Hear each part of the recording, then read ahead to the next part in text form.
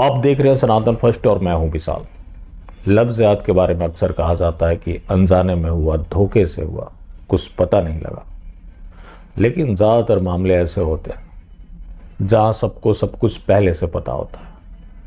कई बार तो परिवार वालों को भी सब कुछ पता होता है। ऐसा ही मामला है उर्वी वैष्णवी का, जो कि मूल रूप से बूंदी राजस्थान की रहने वाली थी। नवी मुंबई में एक होटल में वो वेटर नवी मुंबई के एक होटल में वो वेटर का काम करते थे। इनके पास गाड़ी भी थे। इनकी पहचान हुई रियाज खान से। दोनों में दोस्ती हुई, प्यार हुआ, फिर लिविंग रिलेशनशिप में रहने लगे। अब तो सुप्रीम कोर्ट भी उसे जायज़ बता चुका है। उस दौरान वो क्या करता था कि उर्वी वैष्णवी की गाड़ी से घूमता था। लड़की के दो भाई, महेश और आरुष, दोनों भी वहीं रहते थे। उनको सब कुछ पता था। हर शाम पाँच बजे वो कॉल किया करते थे। लेकिन एक दिन कॉल नहीं आया।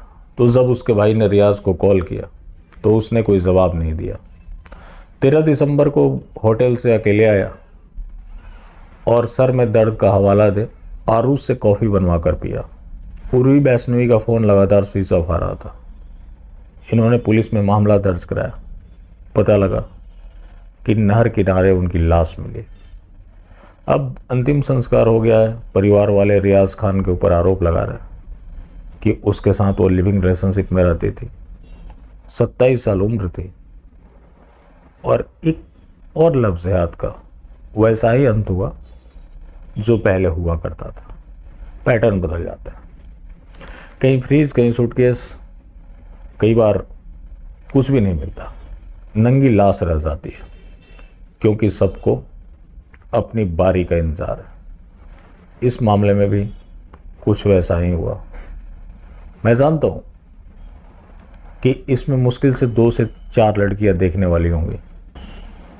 वो रील बनाने में व्यस्त है। चलिए आज के लिए बस यहीं तक। फिर मिलता है। धन्यवाद।